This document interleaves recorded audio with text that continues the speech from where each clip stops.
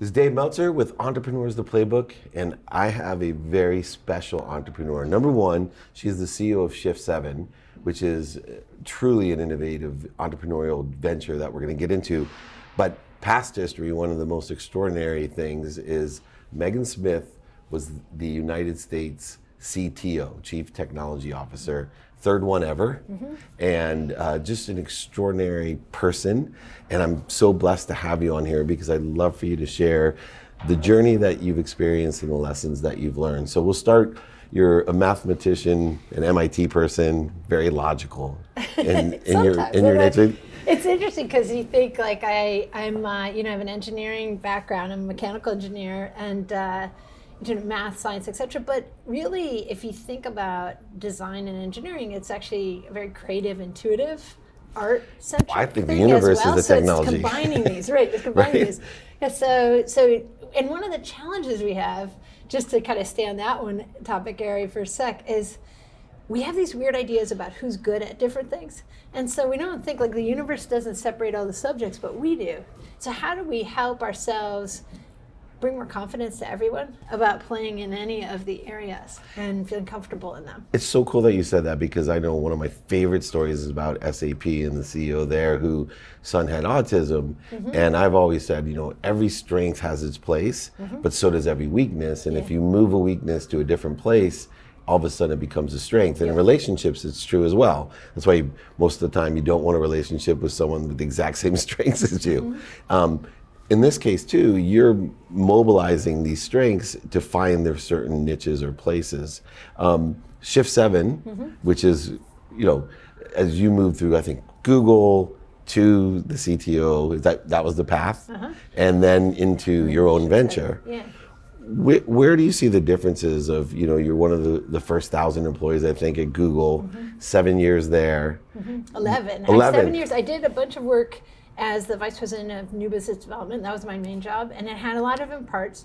It's actually to entrepreneurship it's related because it's entrepreneurship inside of the company. I call it entrepreneurship. Yeah, entrepreneurship. so tons of that because if you look at Google, about half of the major products from it came from people inside. Come, of course, search. You know, yeah. the first one and ads related to that as it came in. But things like Gmail and Google Docs, other other other products. Um, actually Docs comes from, from acquisitions, but a set of products. And then there's a set of products that came from actually acquisitions of amazing, talented teams. And so whether it was amazing teams in-house, I was uh, the lead of new business development and we worked as the partnerships team. So let's say the Gmail team was just emerging and they needed anti-spam deal or we're scanning books for book search and we need to call the publishers and talk about what kind of deal could we strike or, or maybe we're going to talk to the libraries. All those first of a kind partnerships my team did all of that work with the amazing engineers and product managers across the whole company. And then we also, in the early days, I did acquisitions of Google Earth and Maps and Picasa. And then we eventually split those teams, so another corp dev team kept going. But bringing those teams into the company um, and working together with product engineering with them and letting them actually lead. So, for example, Geo worked a lot on, on those products. That Geo team that came in, whether it was Keyhole, was a company for Google Earth, Where2Tech was a company that was doing a lot of mapping and visualization of, of maps themselves as we see it today. And then a little one called ZipDash that was doing traffic at the day, like 2004. They blended together and became the leaders of Geo for Google. So it wasn't like someone came and said, you know, you all work here and then everybody left. They came and led and built that stuff. So um, I was able to be at Google during those times and work with these extraordinary talent, and it speaks to a lot of things you talk about on the show and in the podcast entrepreneurs and innovation and coming from like coming from people's passion and giving them a platform and a space to do that and great teammates around and coaches and president obama saw the importance of entrepreneurship mm-hmm. and of technology when he created the position as a cto of the united states yeah. and as you had the position I was thinking, okay, so what types of things evolve into entrepreneurship? Because I would think, as the chief technology officer, a lot of it had to pertain to to security. Mm-hmm. But yet, all the different solutions that you listed out from Google, although they're not within the realm of security, mm-hmm. they're so important to understand in order to create a secure environment, a, secure digital environment, yep. which truly I think is one of the biggest threats that we have to our country. Mm-hmm. And as it evolves, I think we don't even know what could be a threat how, how did that uh, transition occur, and what skill sets do you think were the most utilized from what you learned at Google? Yeah, very much so. And also in Shift 7, I'm on a couple commissions, the Global Tech Panel in Europe, and also the Kofi Annan Commission around elections and democracy. So yes, exactly. So not only security, but also the complexities of social media and fake news and and how and bullying, you know, bullying people, candidates, etc. Uh, how how do we want to be? What are our values and how do we want to be? And how do we want these technologies and, and tools to be uh, in the world? So specifically for President Obama, I think he saw this incredible group of talented people in the government, and just he noticed sort of tech people in other sectors, and he noticed that that group was in certain rooms. You know, if you go to NASA, yeah. you know, top engineering and talent innovators, uh, National Institute of Health scientists and other data scientists, others, um, Precision Medicine Initiative, um, Department of Energy, et cetera. In the government, they're extraordinary technical people. We have national labs all over the country. We also have our military technical leadership um, for security and other things, and, and also the chief information officer, which does a lot more IT and security, and the tech officer. My job was much more sort of innovation and new methods. Okay. So we had that. But what we didn't have was in sort of every room, that kind of tech person there, like you would have maybe a surgeon general or an operator, a lawyer. You don't say, oh, there's lawyers, like as if it's a sector. Uh, and right. then there's the government. You're like, lawyers are in the private sector, civil, uh, nonprofit, you know, academic, they're Sports. everywhere. Sports is everywhere, I hope. You know, we have bodies, we want to like play, we got passion. Um, and so the same idea, shouldn't technical people be everywhere? And the president could see that it wasn't about not the talent, the talent that was there was tremendous, adding seats to the table. And you see it in the private sector. There's usually a chief technology officer, a chief information officer, a chief data scientist, and others. You know, when you're working in diversity inclusion, a diversity inclusion officer together with people opportunities. We just build the capability of our team. You know, in like a Navy SEALs team, you, if you leave people off the team, you can't run the mission. Right. It's interesting because Shift 7 hits a key component of what I believe to be so important is that we have to start rethinking everything mm-hmm. because things have shifted so quickly that you know our financial institutions our education our political all of these different institutions that are aligned with these global initiatives i know we work with sap and their innovation mm-hmm. studio there with the 17 global initiatives mm-hmm. but the world's biggest issues can be solved with technology and mm-hmm. it's not, not a popular thing to say but i always even look at you know, global warming or climate change, as they say. Mm-hmm. You know, we have a big hole in our atmosphere, which can, you know, scientifically be seen mm-hmm. that we mm-hmm. have a thinning of our atmosphere.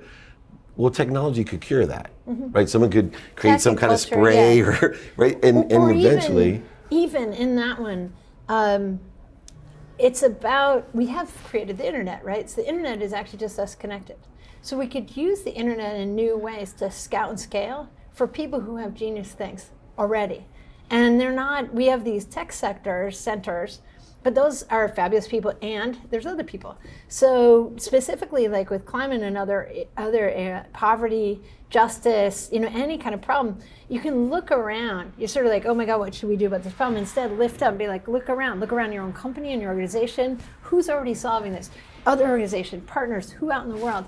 So we put up a website um, we approached the United Nations. When I was CTO, we approached a, a talented team there um, together with the UN Foundation and others and created something called the Solution Summit, the UN Solution Summit. We actually just post a page asking who's already solving the Sustainable Development Goals, the 17 goals. Wow. And we got, the first year we got 800 people out of the world. This year we got 1,400 submissions in three weeks from 141 countries against all the different goals. And so this like uh, we call it collective genius. You know, there's so collective much talent. yeah, collective conscious. Yeah. So using the internet to like scout for talent, and then how do you treat that same talent? You know, thinking about sports, what do you do when you have great talent? You bring coaches and teammates, and you start working together, um, and you practice it. Practice makes permanent. Yeah. So, how do you help this set of entrepreneurs to be lifted by the kind of um, acceleration partners that we see, say Silicon Valley or Austin, Boston, Singapore, the, that kind of crew gets. You but just, maybe you're from Ghana, so let's help you. Yeah, we were just with a creative company in Baltimore, for mm-hmm. example, and they're drawing talent unbelievable skills from South America, from Eastern Europe, in basements with really slow connections and really slow computers. Mm-hmm. And we were discussing with an ex NFL star, you know, how do we leverage that and get them the right equipment so we can even solve these problems uh, faster? You said something that really sparked my interest. You said practice makes permanent. Yeah. And that's something like internally as human beings from cellular to subconscious to conscious mm-hmm. to our own chromosomes DNA, but also just in the ethereal when I'm training or coaching people, I keep trying to stress that practice makes permanent. Yeah. And in habits are discipline. Yeah. yeah. Can you because you're so much more enlightened about this and educated. Can you explain that in your sure. your vision of and what practice makes permanent means? Totally, and it comes from um, my swimming coach uh, from MIT and uh, a guy named John Benedick, who was fabulous. Um, NCAA Coach of the Year many times in our Division Three world. Um, I'm, I'm, in that same world. So yeah, I was a swimmer. So as a swimmer, if you every time you come to the wall, one of the things he was always teaching us, you know, just from a swimming analogy, if you didn't like hit the wall hard, later when you're in the race, someone can out touch you, you know? So there's all these things that you just need to kind of make permanent into how you do things. And so that can come into business. I remember um, there's an extraordinary professor I had at school who actually said, uh, I was, we were talking about New England Championships, um, and uh, he, I was telling him, he was asking me lots of details. And you know how passionate we are about sports. So he was saying, you know, someday you'll feel that way about your work. And he's exactly right. And we all know that you can translate across sectors. And so that same thing, like we all know from, even from P, if you're not an athlete in PE class or whatever you do, uh, that, that whatever kinds of practices you have are going to become permanent. I think that one of my favorite examples, I'm going to show you a, little, a picture. Yeah. So one of my favorite examples is practicing a lot of different things. This particular one is about our kids.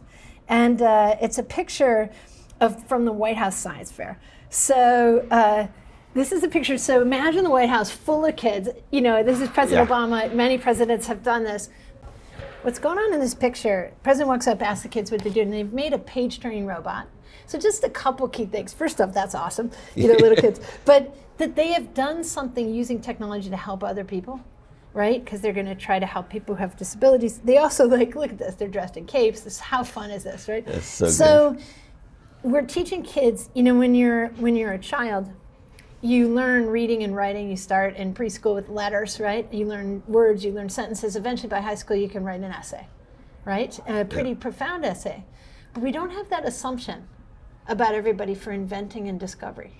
So for science, for STEM subjects, science, math, computer science, we expect you to like kind of absorb everything everybody else figured out and yeah, you get to do lab, but when you do lab, it's usually a, you know the answer. It's not like science fair where you don't know the answer, and together we're going to discover. Together we're going to invent. And yeah. so having kids practice makes permanent.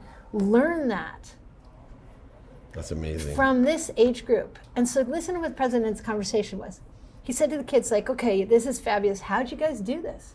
And they said, we had a brainstorming they're like, I'm brainstorming. They're like kindergarten, first grade, yeah. right? And everybody's laughing, and it's, it, but it's real. Like, think about that. What if you did that when you were that age? And it's then he said, and then, yeah, what did you do next?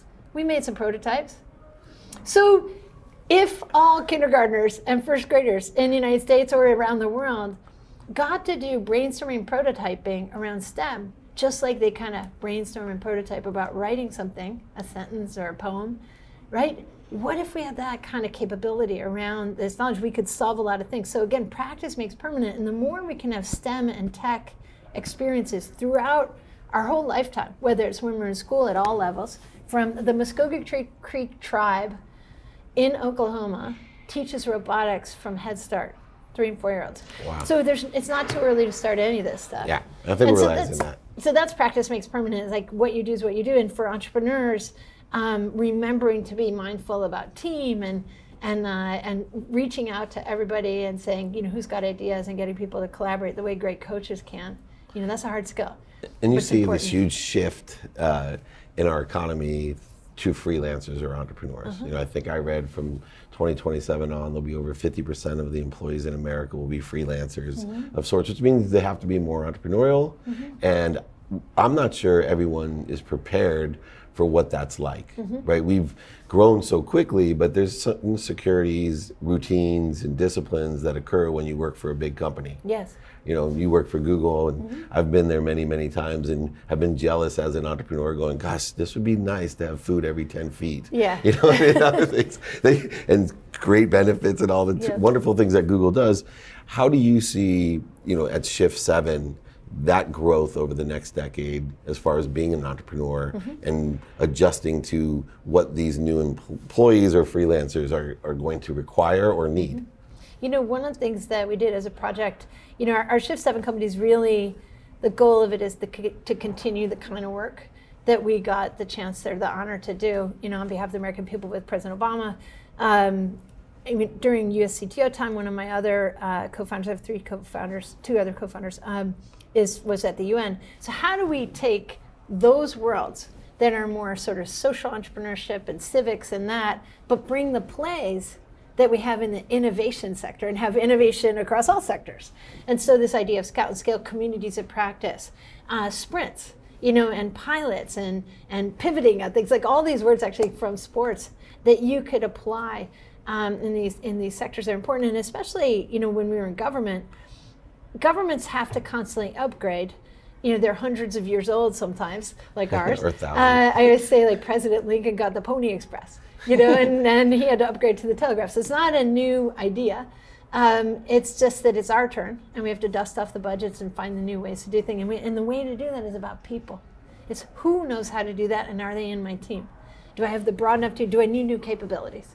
You know, uh, FDR created the science advisor position. You know, of course, President Washington already was doing tech. At the beginning, he was technical himself, um, but he had the Army Corps of what becomes the Army Corps of Engineers, Corps of Eng, which actually built Bunker Fort before the country was founded. So we've always had tech and innovation. It's just in our time we had that. And so same thing for the social sectors. Um, moving that in here. So for Shift 7, our, t- our job, our role, our, our focus is to try to continue to bring kind of tech forward innovation methodologies for faster scaled impact in other sectors. And part of that is about thinking about solution making as an inclusion experience. I noticed the that. more you can include people, the more surface area of doers, the more we're going to solve. So if we could, it's sort of like a theory, like if we include everyone, we could fix nearly everything. Yeah. And, and team up and, and get people to do, you know, the example I gave about the kids, practicing around STEM and playing around STEM, but doing impactful things like for other people. That's amazing. I always say everybody already knows their why. It's to help others, mm-hmm. and we're just not wise enough to admit it and figure out the what and the how. Last question deals with inclusion because a lot of your business is about inclusion, and I find it ironic. Um, I worked for West Publishing when they first launched Westlaw, so we had mm-hmm. Boolean language searching into natural language yep, searching. Sure, sure. Have a pre-Google company yeah, with, yeah. data and at Westlaw, yeah. and but the interesting thing I've seen through the evolution of technology is that it really is a very inclusive thing. We yeah. have connected the world. There's mm-hmm. people, and yet I feel today that there's this separation, or at least an interference or corrosion between the connections that we have. So totally. you have idealistic people like St. Jude mm-hmm. that have mm-hmm. been posting everything they know about cancer just so somebody can solve it. Yeah. And then there's other people that buy and spend millions of dollars on security so nobody can know mm-hmm. what they're doing research on mm-hmm. cancer for. What do you see moving forward as far as inclusion are the biggest challenges that we face with technology of, of creating that inclusion? Yeah, it's it this is like probably our biggest challenge, which is how are we going to get everyone in the future? What's the inclusive future of work, of AI, of a living planet? You know, and how do we take our values, our most indigenous, indigenous of values, which go, you know, all the way back into in here in our country, and in Native Americans, who was on this land here, in indigenous people around the world who have such brilliant systems thinking. Um, there's a wonderful PBS show called Native America, which is about the Native American communities who were here and are, of course, still here, um, thankfully. Uh, but were here at the time and how far ahead they were in systems thinking, which would have kept us from our more colonial way of thinking that got us into so much climate change trouble. So I think thinking in new ways, especially as entrepreneurial leaders, the more diverse your team is, the better it's going to be, the better your products. It's proven better products, better profits, but also better cultural experience. Sometimes a little bit harder, you know, to, to figure out how to all get along. but in technology, it's interesting the biases. So we have these ideas through the 80s. I'm, we're doing a series right now, working on some things about lost histories of, of women, um, and, and especially technical women. A woman invented computer science, and most people don't know that. Her name is Ada Lovelace, and she wrote at the same time as Darwin. And when she wrote, Darwin wrote about our past, as we know, and his paper is known. And she wrote a 55 page paper attached as to a 20 page translation. She wasn't allowed to publish or be part of the Royal Society at the time, but she attached it and out there her notes, including the first algorithm ever written. And she said, she was Lord Byron's poet math daughter. She said, I wish to bequeath to the generations a calculus of the nervous system. And she predicted all the way, calculus could be into quantum, like these great ideas of what could be. And she always wanted to see working with technology, not replacing ourselves with it. So I think realizing the truth, you know, whether it's that movie Hidden Figures and you see that Katherine Johnson did yeah. calculate the trajectories for the moon mission, um, and including John Glenn wouldn't fly without Ch- Katherine checking the math, like uh, incredibly talented, genius mathematician, woman of color. So how do we have more visibility that everybody's been awesome the whole time?